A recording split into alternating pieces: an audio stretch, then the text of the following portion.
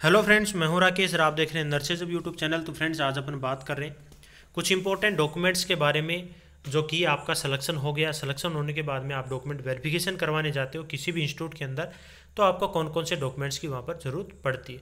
तो वो सभी क्वेश्चन हैं, इस वीडियो के अंदर अपन बात करेंगे। तो वीडियो को बहुत ही इंपॉर्टेंट होने वाला है तो वीडियो को ज़्यादा से ज़्यादा शेयर कर देना। अपने आपके जितने भी दोस्त हैं सभी दोस्तों के पास में आपके व्हाट्सएप ग्रुप हैं। व्हाट्सएप ग्रुपों के अंदर और आपके पास फेसबुक है टेलीग्राम है। जहाँ आपके पास जो भी कुछ है सोशल मीडिया वहाँ सभी जगह पे आप इसको शेयर ज़रूर कर दीजिएगा। तो इसमें अपन बात करेंगे आईएनसी वेरिफिकेशन क्या है। बहुत से कैंडिडेट आईएनसी वेरिफिकेशन के बारे में बात कर रहे हैं तो वो चीज़ क्या है? नेक्स्ट है कौन कौन से डॉक्यूमेंट्स आपको ज़रूरत होगी रिक्वायर्ड होगी। नेक्स्ट अपन बात करते हैं क्या मेडिकल भी होता है। आपका डॉक्यूमेंट वेरिफिकेशन होगा, उसके बाद में क्या आपका मेडिकल भी होगा। नेक्स्ट है, अगर कोई डॉक्यूमेंट्स नहीं हो तो वेरिफिकेशन के टाइम पे आपका क्या होगा? या वहाँ पर आप डिसलेक्ट हो जाओगे या फिर आपको सेलेक्ट माना जाएगा। नेक्स्ट है, कितने टाइम तक एक्सटेंशन मिलता है? आपको बीच में किसी चीज़ की ज़रूरत पड़ जाती है तो आपको एक्सटेंशन की ज़रूरत होती है तो क्या आपको वहाँ पर एक्सटेंशन दिया जाता है या नहीं दिया जाता? क्या आपके पास डीएनसी होना ज़रूरी है या नहीं? है ये सभी क्वेश्चन हैं जो कि मैंने डिफरेंट डिफरेंट टाइप से जो मेरे को मिले हैं, उन सभी का इस वीडियो के अंदर आपको जवाब दिया जाएगा। तो वीडियो को सुरक्षण तक देखते रहना, आपको सभी क्वेश्चन का वन बाय वन आपको रेस्पॉन्स मिलेगा। नंबर एक पे अपन बात करते हैं डॉक्यूमेंट्स की तो यहाँ पर कौन कौन से डॉक्यूमेंट्स की आपको नीड होती है कौन कौन से डॉक्यूमेंट्स की आपको रिक्वायर्ड होता है डॉक्यूमेंट वेरिफिकेशन के टाइम पे। तो नंबर एक पे बात करें तो नंबर एक पे आपके पास में टेंथ और ट्वेल्थ का आपके पास क्या होना चाहिए? मार्कशीट होना चाहिए और साथ में उनका जो सर्टिफिकेट है, वो भी होना चाहिए।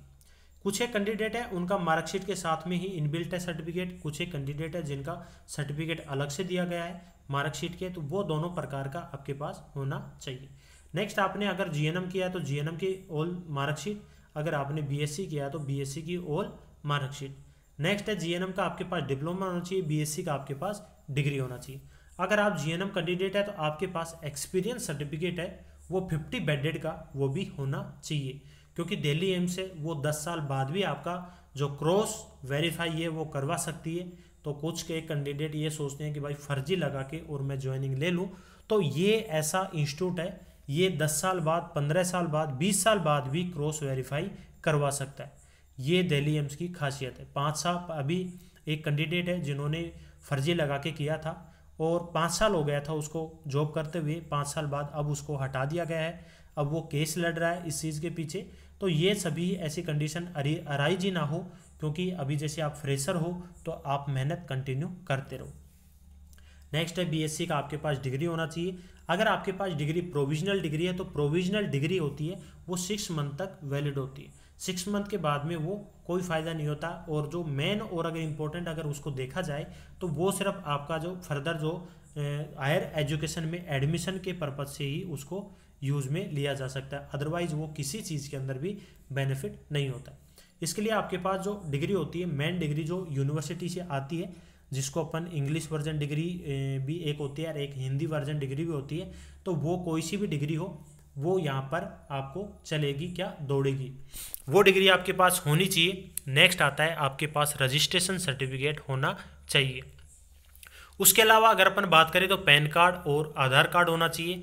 और भी अलग अगर बात करें तो आपके पास कास्ट सर्टिफिकेट और डोमिसाइल सर्टिफिकेट ये दोनों चीज़ भी आपके पास होना चाहिए।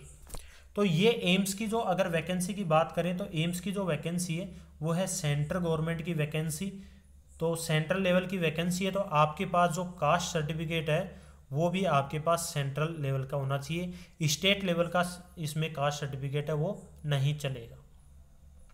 ये इंपॉर्टेंट बात है। अगर आप सेंटर की, अगर आप वैकेंसी देख रहे हो तो आपके पास सेंटर लेवल का ही कास्ट सर्टिफिकेट होना चाहिए, जैसे S T S C O B C और ई डब्ल्यू एस कैंडिडेट अगर आपके पास पी एच कैटेगरी से हो तो पी एच का भी आपके पास आपके पास सर्टिफिकेट होना कंपलसरी तो ये तो हो गई डॉक्यूमेंट्स की बात में, आपके पास सारे डॉक्यूमेंट्स आपके पास होने चाहिए। अब इसमें बात यह आती है, अगर मान लो आप वहाँ पर डॉक्यूमेंट वेरिफिकेशन करवा रहे हो और उस टाइम पे आपके पास कोई भी डॉक्यूमेंट्स नहीं है तो आप क्या करोगे? उसके लिए आपको करना क्या होगा? एक एप्लीकेशन लिखनी है एडमिनिस्ट्रेटिव ऑफ़िस के नाम से और उसके अंदर आपको सेल्फ डिक्लेरेशन आपको दे देना है। उसके अंदर आपको वन मंथ का टाइम आपने जैसे कि ले लिया कि मैं एक महीने के अंदर मेरा ये डॉक्यूमेंट है, वो आपको यहाँ पर जमा करवा दूँगा। उसमें आपका आपका जो रैंक है, आपका जो रोल नंबर है, आपका नाम है, वो सभी उसके अंदर मेंशन कर देना है एप्लीकेशन में और डॉक्यूमेंट्स के साथ में वहाँ पर जमा करवा देना है। कोई भी दिक्कत नहीं आएगी। आप इसके अंदर डिक्लेरेशन लेके ले सकते हो, कोई भी इशू नहीं होगा। बस इशू ये होगा कि जैसे आपने ज्वाइन कर लिया, जब तक आप डॉक्यूमेंट्स नहीं जमा करवाओगे, तब तक आपकी जो सैलरी है, वो रुक जाएगी। सैलरी रुक जाएगी, वो फिर एक साथ वो पूरी सैलरी बाद में दी जाएगी आपको। नेक्स्ट इंपॉर्टेंट आता है आईएनसी वेरिफिकेशन क्या है? तो इसके ऊपर थोड़ी सी बात बता दूँ। आईएनसी वेरिफिकेशन ये इसलिए अब आपसे करवाने लग गई। पहले क्या था कि एम्स है, वो जैसे कि अगर आपके पास डीएनसी कब ज़रूरत होती है? अगर आपने दिल्ली एम्स को आपने चूज़ कर लिया तो आपको आपको डीएनसी कंपलसरी हो जाता है। अगर आपने इसी नोरसेट के अंदर अगर बात करें टोटल 15 जो एम्स है, उसमें से अगर दिल्ली एम्स को प्रेफर करते हो तो आपके पास डीएनसी और आईएनसी वेरिफिकेशन ये दोनों होना चाहिए। अगर आप अदर देन एम्स चूज़ करते हो एम्स दिल्ली चूज़ करते हो तो आपको डीएनसी की कोई ज़रूरत नहीं होगी, आपको आईएनसी वेरिफिकेशन की भी कोई ज़रूरत नहीं होगी।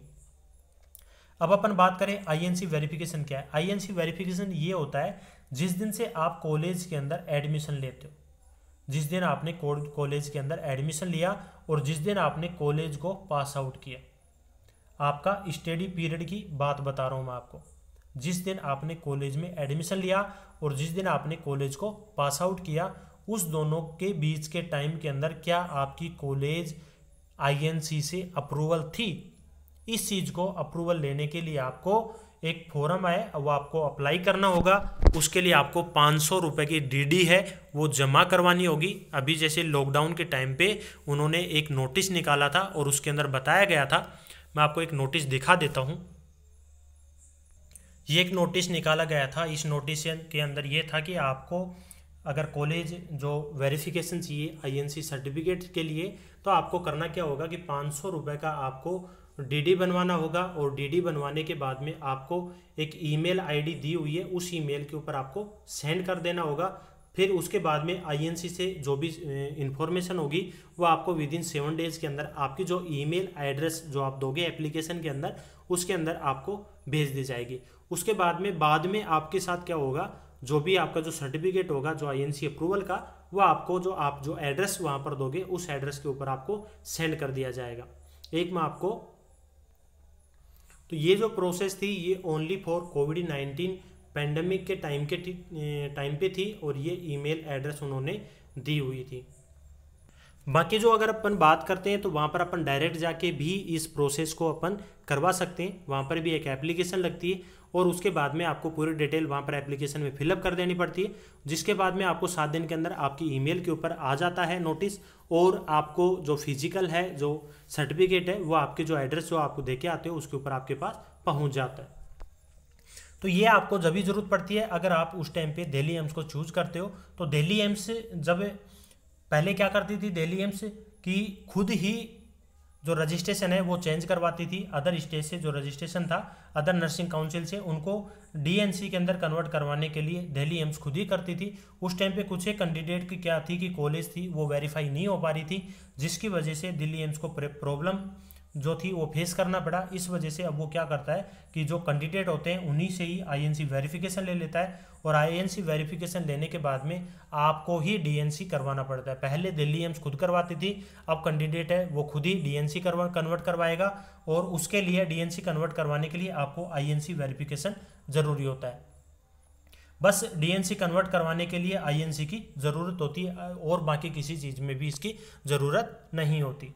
नेक्स्ट अपन बात करते हैं मेडिकल एग्जामिनेशन की। मेडिकल एग्जामिनेशन के अंदर आता है आई टेस्ट आई टेस्ट के अंदर मोस्ट इंपॉर्टेंट की अगर बात करें तो इसमें आता है इश्चारा टेस्ट इश्चारा टेस्ट है, वो कलर विजन के लिए करते हैं।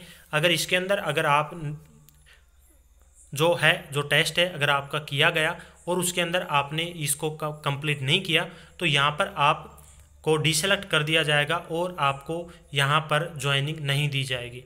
और बाकी अगर किसी भी मेडिकल एग्जामिनेशन के अंदर आप फेल हो गए तो आप चल जाएगा। लेकिन इश्चारा टेस्ट के अंदर अगर प्रॉब्लम आती है तो आपको वहाँ पर सेलेक्ट नहीं किया जाता। नेक्स्ट है, इसमें ECG x ray blood test और फ़िज़िकल एग्जामिनेशन भी किया जाता है। ईसीजी नॉर्मल होती है एक्सरे नॉर्मल होता है और ब्लड टेस्ट है, जिसमें सीबीसी वगैरह होता है, जो बिल्कुल एक नॉर्मल प्रोसेस है। फ़िज़िकल एग्जामिनेशन के अंदर इंग्वाइनल हर्निया देखा जाता है और हाइड्रोसिल है।